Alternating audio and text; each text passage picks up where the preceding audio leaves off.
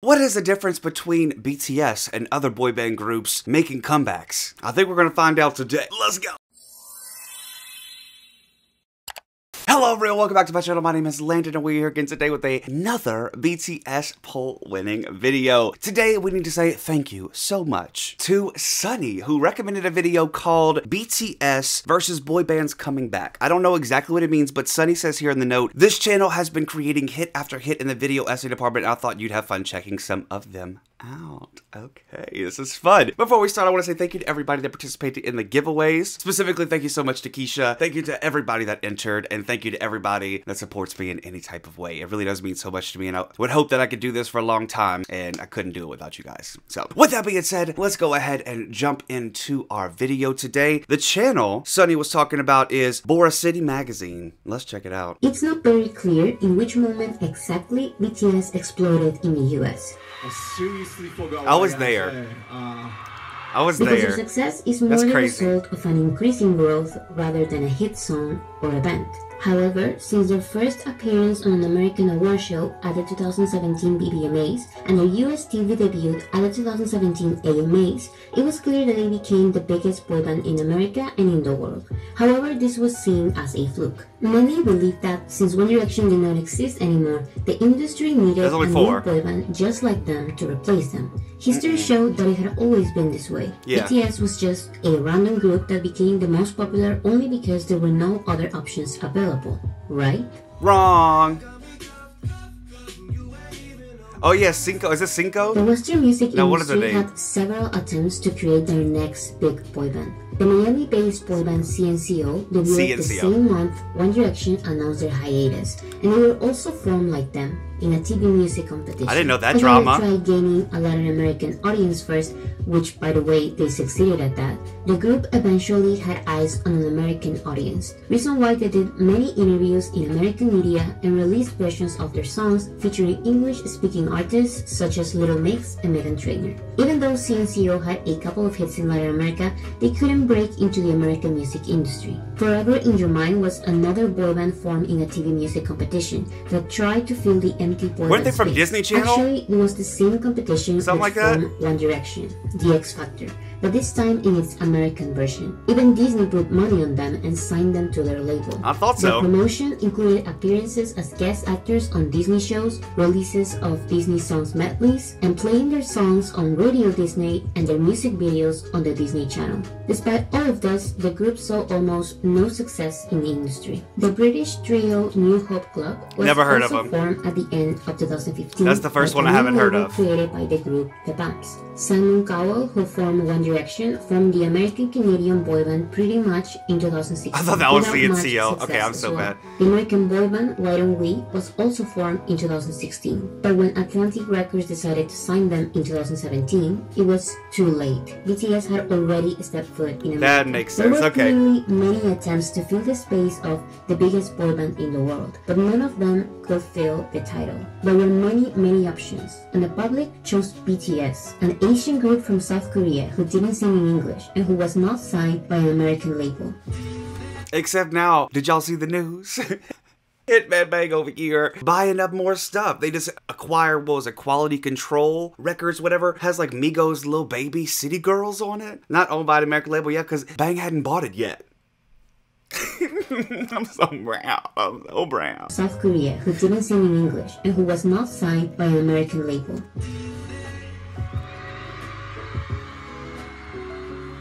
While these labels intensely debuted their boy bands from the beginning of 2016 to the end of 2017, BTS took these couple of years to continue growing Little by little. in the Western I like music that, 'cause industry. it's true, baby However, steps. Because the many failed attempts didn't reach the general public, the Western music industry was still thinking that BTS's success in America was a fluke. And if new boy bands cannot compete against them, then the comeback of all boy bands definitely can. This is Oh. why when oh. BTS started receiving all the American awards I see where this is going. there was a wave of dead boy bands New Kids back. on the Block.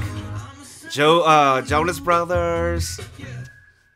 The Jonas Brothers reunited on March of 2019 after a six-year breakup. Their comeback song "Sucker" became the biggest song of their career as a group, debuting at number one on the Billboard Hot 100. The promotion for this song was huge. The brothers had interviews with many radio and TV stations. They appeared every day on The Late Late Show with James Corden from March 4th to March 7th. Damn. But most importantly, the song was played so much on radio that it became the number one song on US radio at the moment. It looked like they were going to take the crown for the biggest boy band like back in their day, but only two months after their comeback, BTS released Boy With Luv.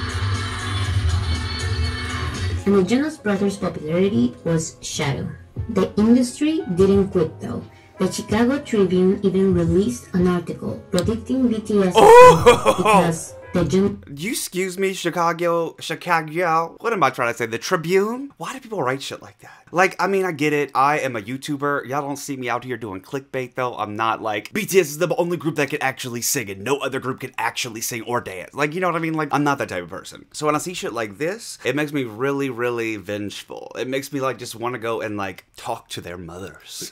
The Jonas Brothers are back with Happiness Begins just in time to show the BTSs. Okay, first off, you stupid fucking bitch. Don't you ever say the word BTSs again. Don't you ever fucking say BTSs again. I will literally pop it out your mouth, okay? How it's really done. Okay. Well, well, let's see. Let's see what happens. popularity was shadow. The industry didn't quit though.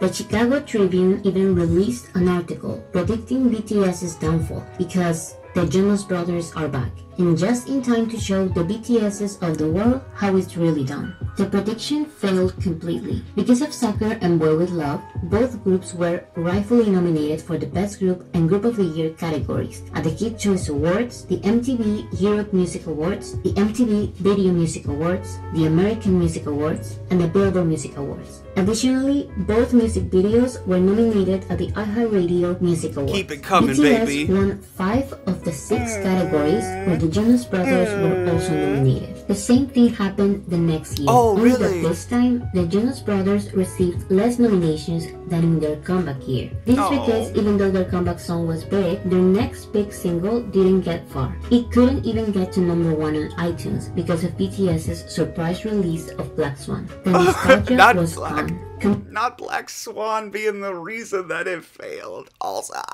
Because y'all know Black Swan is my personal favorite bird of choice. It's my lift me up song. It's my, if I hadn't heard this song, yes, I would love BTS, but hearing Black Swan in the exact time I needed to hear Black Swan just snapped it like that, like a motherfucking Thanos snap. I was in this army shit for life. You know what I mean? Compared to the Jonas Brothers, the many other comebacks that will follow seem extremely small. The British boy band JLS announced a comeback in 2019, reuniting after a six-year I never heard of them either, In right? 2020, the group signed a record deal with BMG, and they released their comeback album in 2021, which peaked at number 4 in UK charts. I want to know who they are. I don't know. In 2021, the American boy band Big Time Rush announced that if one of their posts gets 500,000 likes, they will come back. They had not reached that number of likes till this day, but they had a comeback anyways, Shade.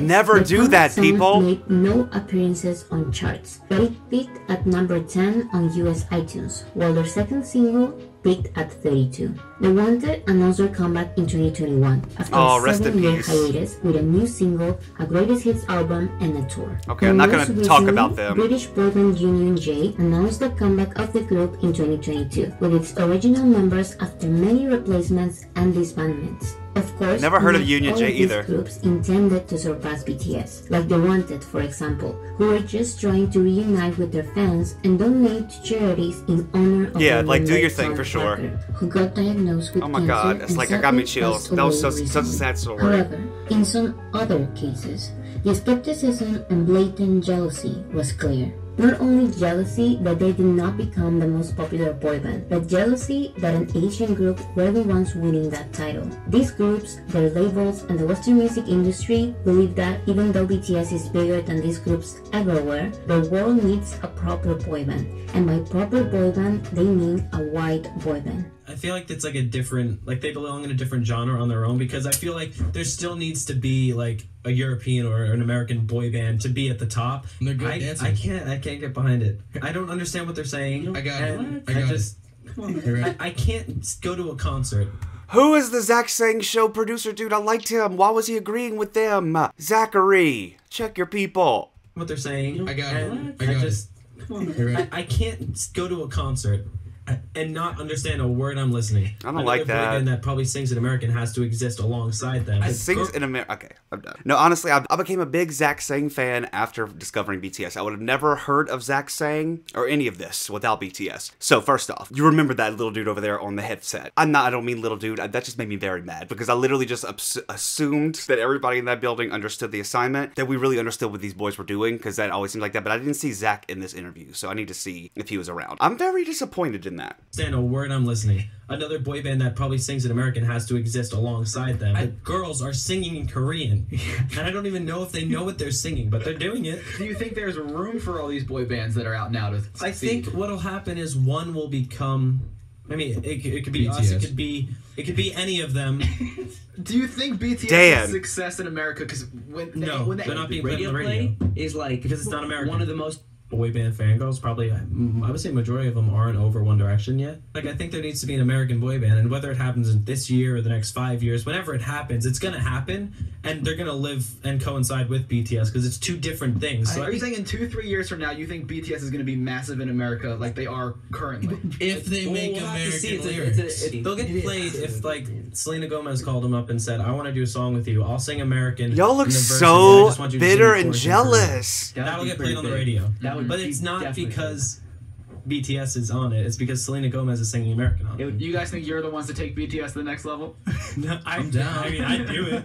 That's the. This group tried for only I would never show my fucking face again. Who do you think you are? You signed on the Disney Channel. I remember y'all, right? Y'all were the ones that signed on Disney Channel and flopped. Like, even playing all your stuff on Disney Channel couldn't get y'all any promo, couldn't make y'all the success. If you are trying to be a boy band and you're getting played on Disney Channel 24 7 and you still can't find success, I'm so sorry, sweeties. It's time to reevaluate. Maybe what they were doing by not singing in American was exposing the world to music that we would have never heard before. Exposing the world to different cultures, to different opinions, different walks of life, a different sounding music made with lyrics that you can translate and read, so don't say we don't know what they're talking about, that have been 100 million times better than something that they have ever written. I need to go and see. What is their name again? God, I cannot remember their name. If I Die or something? What is it? Forever in Your Something? Boy group forever in your mind. Oh, and like one of the first articles disagrees with BTS's success. Like that's still haunting them. that's literally what comes up. I type in boy group forever in your mind, and the top stories are still BTS related. That's hilarious. I would not be going this hard if you didn't feel the need to go that hard on the Zach Sang show.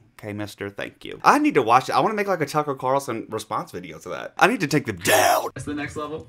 No, I'm down. I mean, I do it. That's the- this group tried for BTS the next level. What does this pop up I'm say? down. Forever in Your Mind released a non album single, Smooth. That's what I just looked for. On April 28th, 2017, after their blah, blah, blah, blah. Never heard of it. I mean, I do it.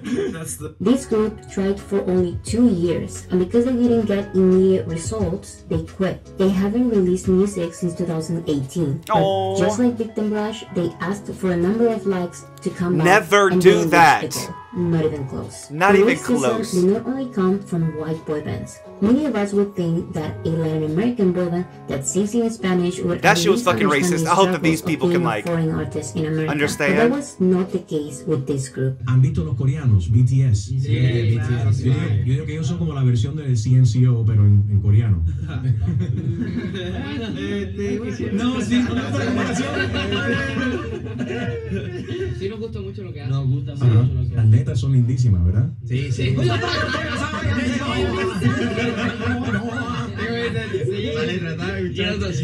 ¿Cómo sonaría Súbeme la- ¿Cómo sonaría en coreano? En coreano, a ver. No sé cómo. A ver, en coreano, mamita en coreano.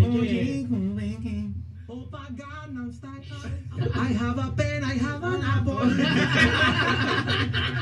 Things like this not only I didn't think I would get angry. I thought this was a funny compilation. You know, I thought this was gonna be like, hee hee, look at BTS. I've never seen this evidence before, and it's very, very annoying. I understand? No, I don't. I already don't understand the racism coming from groups like Forever in Your Butt, but I, I really don't understand this type of racism mocking coming from a group that is also speaking in a non American native language or whatever, trying to break into it a Western world. Like, that's crazy to me. I literally just watched the Grammys and they put on Bad Bunny's subtitles saying singing in non English.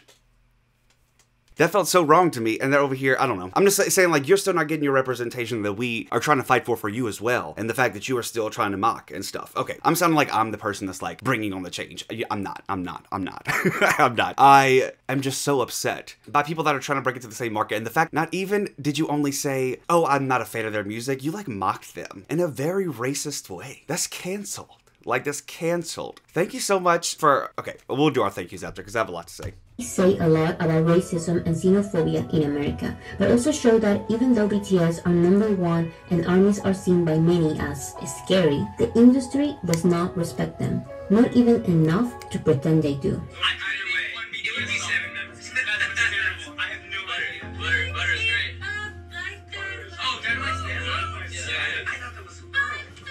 When One Direction became the most popular boy band, other groups did not try so hard to compete against them. One Direction was not seen as a fluke. Their success was seen as natural. I'm going and to punch realistic. everything. But when BTS sees an organic growth in popularity, the industry tries to deny it, cries about it, and fails to defeat them. we are launching X Factor, the band.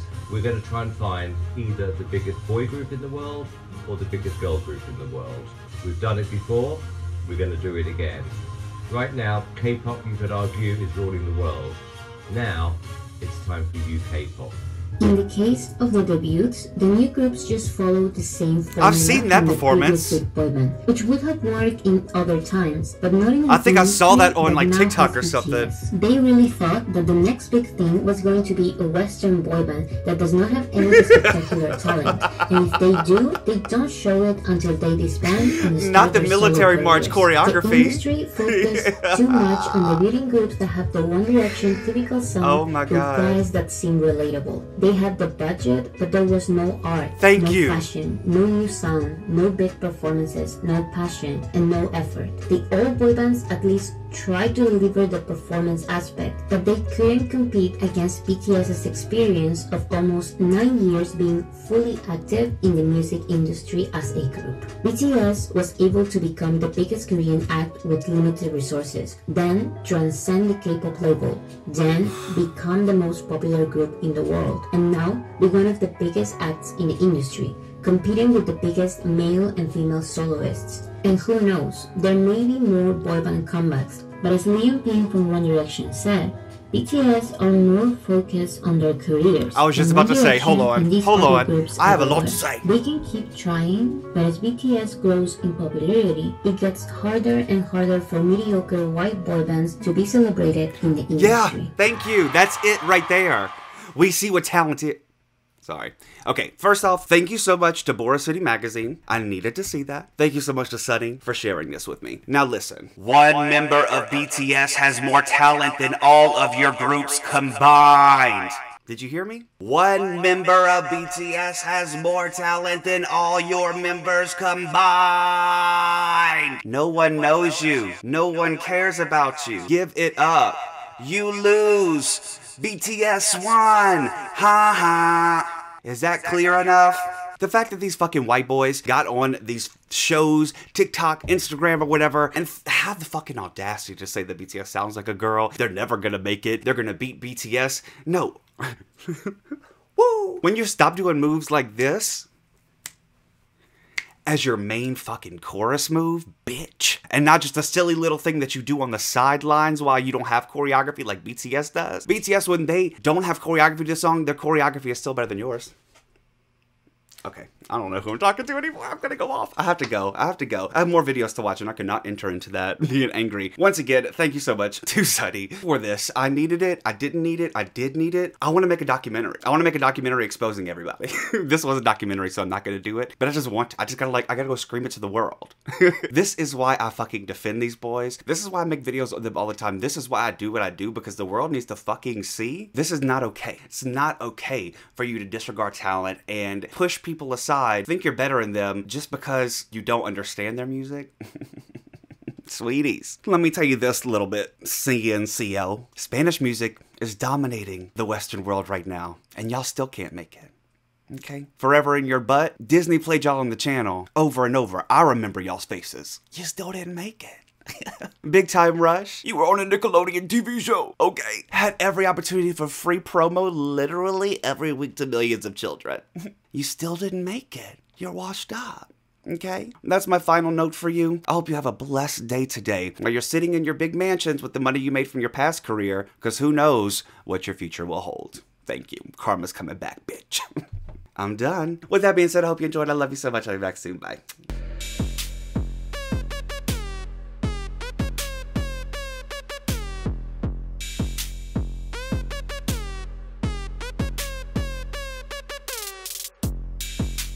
Would love to know them by name. So,